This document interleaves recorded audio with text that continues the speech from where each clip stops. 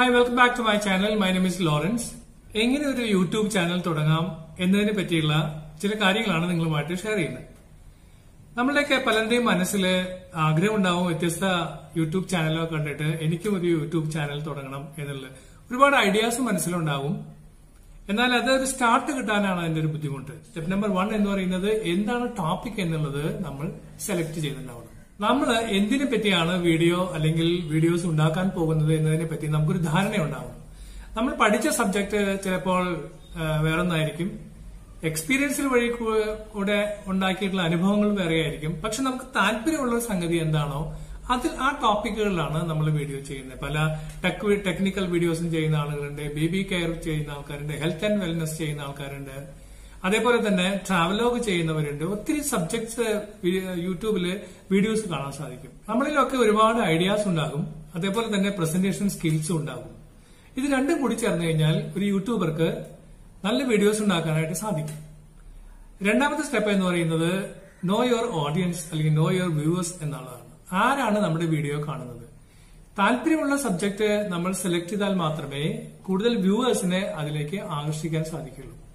അതുകൊണ്ട് തന്നെ എത്ര റീച്ച് നമ്മുടെ വീഡിയോസിനുണ്ടാവും എന്നുള്ള കാര്യത്തെപ്പറ്റി നമ്മൾ അറിഞ്ഞിരിക്കണം. ഒരു സബ്ജക്ട് സെലക്ട് ചെയ്യുമ്പോൾ അത് കൂടുതൽ വ്യൂവർഷിപ്പ് ഉണ്ടാവാനുള്ള സബ്ജക്ട് ആയിരിക്കണം നമ്മൾ സെലക്ട് ചെയ്യേണ്ടത്. യൂട്യൂബ് വീഡിയോസുകളിൽ പ്രധാനമായിട്ടും രണ്ട് കാര്യങ്ങളുള്ളത് ഒന്നുകിൽ ഒരു എന്തെങ്കിലും ഒരു ഇൻഫർമേഷൻ നമ്മൾ ഷെയർ ചെയ്യുന്നു.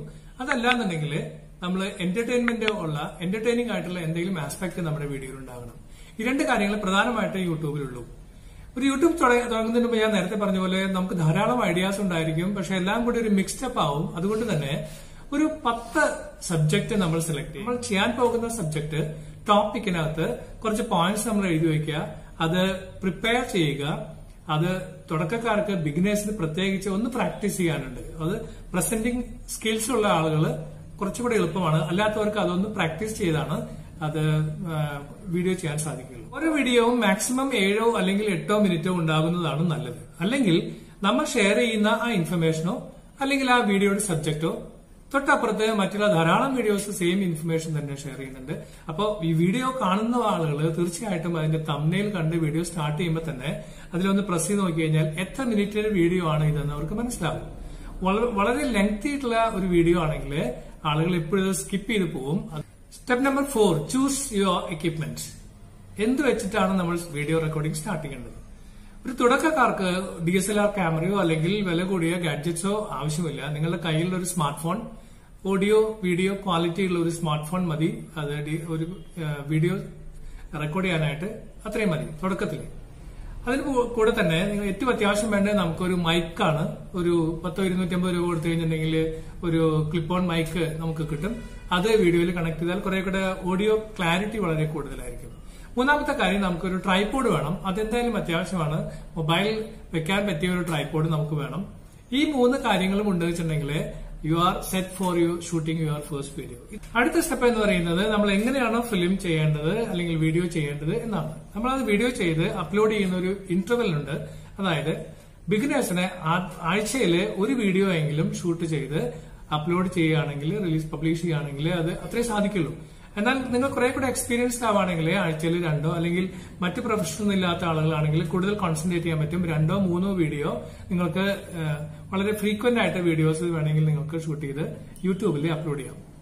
അടുത്ത സ്റ്റെപ്പ് എന്ന് പറയുന്നത് നമ്മളെ ഒരു ഒരു നമ്മുടെ ഒരു ചാനൽ ക്രിയേറ്റ് ചെയ്യുന്നു. ചാനൽ ക്രിയേറ്റ് ചെയ്യാന്ന് പറഞ്ഞാൽ അതിന് മുൻപ് നമ്മളൊരു അക്കൗണ്ട് ഉണ്ടാക്കുന്നു. നിങ്ങൾക്ക് മിക്ക ആളുകൾക്കും ഒരു ജിമെയിൽ അക്കൗണ്ട് അക്കൗണ്ട് ഉണ്ടാകും. നിങ്ങൾക്ക് പേഴ്സണൽ അക്കൗണ്ട് ആയിട്ട് അത് ഉപയോഗിക്കാം. യൂട്യൂബിന് വേണ്ടി വേറൊരു ജിമെയിൽ അക്കൗണ്ട് സ്റ്റാർട്ട് ചെയ്യുക. ആ ജിമെയിൽ അക്കൗണ്ട് സ്റ്റാർട്ട് ചെയ്ത് കഴിഞ്ഞാൽ നിങ്ങൾ ക്രിയേറ്റ് ചെയ്ത് കഴിഞ്ഞിട്ടുണ്ടെങ്കിൽ യൂട്യൂബിൽ പോവുക. അതിനകത്ത് ക്രിയേറ്റ് ചാനൽ എന്നുള്ളൊരു ഓപ്ഷൻ ഉണ്ട്. വളരെ യൂസർ ഫ്രണ്ട്ലിയും വളരെ ഈസിയും ആയിട്ടുള്ള സ്റ്റെപ്സ് ആണ്. അതിൽ കൂടെ ഒരു നിങ്ങളുടേതായിട്ടുള്ള ഒരു ചാനൽ ക്രിയേറ്റ് ചെയ്യുക. ഇതാണ് step number six step number seven നിങ്ങളുടെ ചാനലിന് ഒരു ബാനർ വേണം.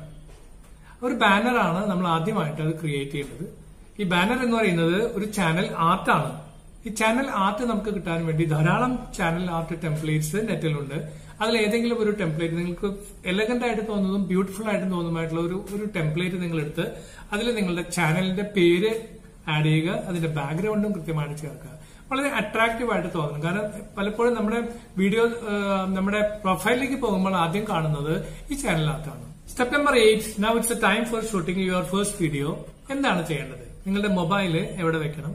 ട്രൈപോഡിൽ എവിടെ വെച്ചാലാണ് കൂടുതൽ ലൈറ്റിംഗ് ഉണ്ടാവുക? എന്നുള്ള കാര്യമൊക്കെ നമ്മൾ ശ്രദ്ധിക്കണം. സാധാരണയായിട്ട് നാച്ചുറൽ ലൈറ്റ് കിട്ടുകയാണെങ്കിൽ തുടക്കത്തിലൊക്കെ ആണെങ്കിൽ നാച്ചുറൽ ലൈറ്റ് മതി. അതിൽ കുറച്ചും കൂടി കുറെ കൂടി എക്സ്പീരിയൻസ്ഡ് ആവണം ഇംപ്രൂവ് ആവുകയാണെങ്കിൽ നമുക്ക് കൂടുതൽ ലൈറ്റിംഗ് എക്യുപ്മെന്റ്സ് നമുക്ക് കണക്ട് ചെയ്യാൻ പറ്റും.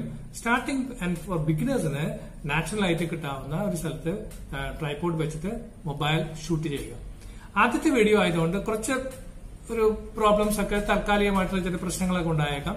പക്ഷെ അത്തരം പ്രശ്നങ്ങളൊക്കെ മാറ്റിവെച്ച് ട്രയൽ ആൻഡ് എറർ മെത്തേഡിൽ വന്ന് ഷൂട്ട് ചെയ്ത് നോക്കുക. ചെയ്തു കഴിഞ്ഞതിന് ശേഷം അത് എഡിറ്റ് ചെയ്യുന്ന സമയത്ത് നമുക്ക് എഡ് ചെയ്യാനോ ഡിലീറ്റ് ചെയ്യാനോ അതല്ലെങ്കിൽ വേറെ എന്തെങ്കിലുമൊക്കെ അനിമേഷൻ വരുത്താനോ ഒക്കെ സാധിക്കും. അടുത്തത് ഏറ്റവും പ്രധാനപ്പെട്ട വളരെ ഇമ്പോർട്ടന്റ് ആയിട്ടുള്ള ഒരു സ്റ്റെപ്പാണ് അതായത് സ്റ്റെപ്പ് നമ്പർ നയൻ നമ്മൾ വീഡിയോ നമ്മൾ എഡിറ്റ് ചെയ്യുന്നു. ഇന്നിപ്പം എഡിറ്റ് ചെയ്യാനായിട്ട് ഇപ്പോ അന്നോട്ട് ടെക്സ് ആറി ഞാൻ കഴിഞ്ഞ ടെക്നിക്കലായിട്ട് ഒരു പാട്ടും എനിക്ക് അറിയാൻ പാടില്ല. കഴിഞ്ഞ രണ്ടു മാസമായിട്ട് ഇതിന്റെ ഓരോ കാര്യങ്ങളും ആർ എൻ ഡി നടത്തി റിസർച്ച് ആൻഡ് ഡെവലപ്മെന്റ് നടത്തി ഓരോ വീഡിയോസും കണ്ട് ടെക്നിക്കൽ വീഡിയോസ് കണ്ട് കാര്യങ്ങൾ കുറേശ്ശെ മനസ്സിലാക്കി വരുന്നതാണ്. വീഡിയോ എഡിറ്റ് ചെയ്യാനായിട്ട് ധാരാളം ആപ്പുകൾ ഇന്നിപ്പോ പ്രോഗ്രാംസ് നമുക്ക് നെറ്റിൽ അവൈലബിൾ ആണ്. വീഡിയോ ഗുരു എന്ന് പറയുന്ന ഒരു ആപ്പുണ്ട് അതല്ല വെച്ചിട്ടുണ്ടെങ്കിൽ പവർ ഡയറക്ടർ എന്ന് പറയുന്ന ഒരു ആപ്പുണ്ട് അതല്ലെങ്കിൽ KineMaster or KineMaster whatever way you pronounce it KineMaster എന്ന് പറയുന്ന ഒരു വളരെ യൂസർ ഫ്രണ്ട്ലി ആയിട്ടുള്ള ഒരു ആപ്ലിക്കേഷൻ ഉണ്ട്. കൈൻ മാസ്റ്ററിലാണ് ഞാൻ എന്റെ വീഡിയോസ് ഒക്കെ ചെയ്യുന്നത്. വളരെ യൂസർ ഫ്രണ്ട്ലി എന്ന് പറഞ്ഞാൽ നമുക്ക് ഒരുപാട് ഓപ്ഷൻസ് അതിനകത്തുണ്ട്. നമുക്ക് മീഡിയ ഫയൽസ് അതിനകത്ത് ആഡ് ചെയ്യാൻ സാധിക്കും ടെക്സ്റ്റ് ആഡ് ചെയ്യാനായിട്ടും സാധിക്കും അനിമേഷൻ സാധിക്കും ഡെലീഷൻ വളരെ സ്പ്ലിറ്റ് ചെയ്യാൻ സാധിക്കും. അതിന്റെ കൂടെ തന്നെ വീഡിയോ വരുന്ന സമയത്ത് നമുക്ക് ലൈക്ക് ചെയ്യാം ഷെയർ ചെയ്യണം സബ്സ്ക്രൈബ് ചെയ്യണം. ഇതിനൊക്കെയുള്ള ബട്ടൺസ് നമുക്ക് കൈൻ മാസ്റ്ററിൽ തന്നെ ആഡ് ചെയ്യാം. ടെക്നിക്കൽ ആയിട്ടുള്ള കാര്യം കൂടുതൽ കാര്യങ്ങളും വൺ ബൈ വൺ ആയിട്ട് ഞാൻ എന്റെ അടുത്ത വീഡിയോസിൽ ഷെയർ ചെയ്യുന്നതാണ്. അതിനുവേണ്ടി നിങ്ങൾ ഈ ചാനൽ നിങ്ങൾ സബ്സ്ക്രൈബ് ചെയ്യുകയാണെങ്കിൽ ഈ വീഡിയോസിന്റെ നോട്ടിഫിക്കേഷൻ നിങ്ങൾക്ക് ലഭിക്കും. അടുത്ത സ്റ്റെപ്പ് നമ്പർ ടെൻ നമ്മുടെ വീഡിയോ ഫസ്റ്റ് വീഡിയോ അപ്ലോഡ് ചെയ്യുന്നു. അപ്ലോഡ് ചെയ്യുമ്പോൾ ശ്രദ്ധിക്കേണ്ട കാര്യങ്ങൾ നമ്മളുടെ നേരിട്ട് എഡിറ്റിംഗ് പ്രോഗ്രാമിൽ നിന്ന് തന്നെ നമുക്ക് നേരിട്ട് യൂട്യൂബിലേക്ക് നമുക്ക് അപ്ലോഡ് ചെയ്യാൻ സാധിക്കും. അപ്ലോഡ് ചെയ്ത് കഴിഞ്ഞു കഴിഞ്ഞാൽ ആ സമയത്ത് നമ്മൾ ആദ്യം തന്നെ നമ്മുടെ വീഡിയോയ്ക്ക് ഒരു ടൈറ്റിൽ കൊടുക്കുന്നു. പെട്ടെന്ന് സെർച്ചിൽ വരുന്ന ഒരു ഗ്രാസ്പ് ചെയ്യുന്ന ഒരു ടൈറ്റിൽ ആയിരിക്കണം നമ്മൾ കൊടുക്കേണ്ടത്. എന്താണോ സബ്ജക്ട് അത് ഒരു ടൈറ്റിലായിട്ട് നമ്മുടെ വീഡിയോയ്ക്ക് കൊടുക്കുന്നു. ഒപ്പം തന്നെ നമ്മൾ അതിന്റെ ഡിസ്ക്രിപ്ഷനും കൊടുക്കുന്നു. ഡിസ്ക്രിപ്ഷനിൽ നിങ്ങൾക്ക് ആ പറയുന്ന ടോപ്പിക്കിനെ പറ്റി എന്തൊക്കെ ഡീറ്റെയിൽസ് അവൈലബിൾ ആണോ യൂസ്ഫുൾ ആണോ അതെല്ലാം നിങ്ങൾ ഡിസ്ക്രിപ്ഷനിൽ ചേർക്കുന്നത് നന്നായിരിക്കും. സെർച്ച് ഓപ്ഷനിലും അത് വരുന്നതാണ്. ഡിസ്ക്രിപ്ഷൻ കഴിഞ്ഞു കഴിഞ്ഞാൽ നിങ്ങൾക്ക് ടാക്സ് എന്ന് പറയുന്ന ഒരു ഓപ്ഷൻ ഉണ്ട്. ഈ ടാക്സിൽ മാക്സിമം ടാക്സിന്റെ നമ്പർ ഉണ്ട്. അത് അത്രയും നിങ്ങൾ വീഡിയോന്റെ ഡിസ്ക്രിപ്ഷനിൽ ഇല്ലാ ഉള്ളതും ഇല്ലാത്തതുമായിട്ടുള്ള സെർച്ച് കീവേഡ്സ് നമ്മൾ ടാക്സിൽ കൊടുക്കണം. ആ ടാക്സ് ആണ് പലപ്പോഴും യൂട്യൂബ് ചാനലിൽ നമ്മൾ സെർച്ച് ചെയ്യുമ്പോൾ ഹിറ്റ് ചെയ്യുന്ന വേർഡ് അല്ലെങ്കിൽ സെന്റൻസ് അതായിരിക്കണം ടാക്സിൽ ഉണ്ടാവുന്നത്. ഇതിനൊപ്പം തന്നെ നമുക്ക് വേണ്ടതാണ് തംനെയിൽ നമ്മുടെ ഒരു വീഡിയോ നമ്മൾ വാട്സപ്പിലോ മറ്റോ ഷെയർ ചെയ്യുമ്പോൾ അല്ലെങ്കിൽ നമ്മൾ യൂട്യൂബിൽ കാണുമ്പോൾ ഫ്രണ്ട് പോർഷനിൽ കാണുന്ന ഒരു ഐക്കൺ ഒരു സബ്ജക്റ്റ് നമ്മുടെ ഫോട്ടോ വെച്ചിട്ടും അല്ലാതെ ഒക്കെയുള്ള ഒരു തംനെയിൽ എന്ന് പറയുന്ന സംഗതിയുണ്ട്. ഈ തംനെയിൽ എന്ന് പറയുന്നത് അത് വളരെ അട്രാക്റ്റീവ് ആണെങ്കിൽ കൂടുതൽ പേര് അത് വീഡിയോ ക്ലിക്ക് ചെയ്യും. അതുപോലെ തന്നെ നമ്മൾ സബ്ജക്ട് പ്രസന്റ് ചെയ്യുന്ന രീതി വളരെ കളർഫുൾ ആൻഡ് എലഗന്റ് ആയിട്ടുള്ള ഒരു തമ്നയിലാണ് നമ്മൾ ഉണ്ടാക്കേണ്ടത് തമ്നയിലും ധാരാളം പ്രോഗ്രാംസ് ആപ്ലിക്കേഷൻസ് അവൈലബിൾ ആണ്. മലയാളം ഇമേജ് എഡിറ്റർ എന്ന് പറയുന്ന ഒരു ആപ്ലിക്കേഷനാണ് ഞാൻ ഉപയോഗിക്കുന്നത്. വളരെ ഫ്രണ്ട്ലി ആണ്. മാത്രമല്ല അതിനകത്ത് മലയാളം വേർഡ്സും ഇംഗ്ലീഷ് വേർഡ്സും ഒക്കെ ആഡ് ചെയ്യാനായിട്ട് സാധിക്കും. അപ്പം ടൈറ്റിൽ ഡിസ്ക്രിപ്ഷൻ ടാഗ് തമ്നെയിൽ ഇത്തരം കാര്യങ്ങൾ ചെയ്തിട്ട് ചെയ്യുന്ന സമയത്ത് ശ്രദ്ധിക്കേണ്ട ഒരു കാര്യം നമ്മൾ വീഡിയോ എപ്പോഴും യൂട്യൂബിലേക്ക് അപ്ലോഡ് ചെയ്യുമ്പോൾ അത് പ്രൈവറ്റ് ആക്കിയിട്ട് വേണം അപ്ലോഡ് ചെയ്യാനായിട്ട്. കാരണം നമുക്ക് ഈ പറഞ്ഞതിലൊക്കെ വ്യത്യാസങ്ങൾ വരുത്താൻ സാധിക്കും. അത് മാത്രമല്ല ഇൻ കേസ് വീഡിയോയിൽ തന്നെ എന്തെങ്കിലും വ്യത്യാസം വരുത്തണമെങ്കിൽ അതും സാധിക്കും. എല്ലാ പ്രൊസീജിയേഴ്സും കംപ്ലീറ്റ് ചെയ്തതിനു ശേഷം ഇതെല്ലാം ആഡ് ചെയ്തിട്ട് വേണം നമ്മുടെ വീഡിയോ നമ്മൾ പബ്ലിഷ് പബ്ലിഷ് ചെയ്യാനായിട്ട്. അപ്പൊ അത് പബ്ലിക് എന്നുള്ള ഓപ്ഷനിലേക്ക് മാറ്റണം.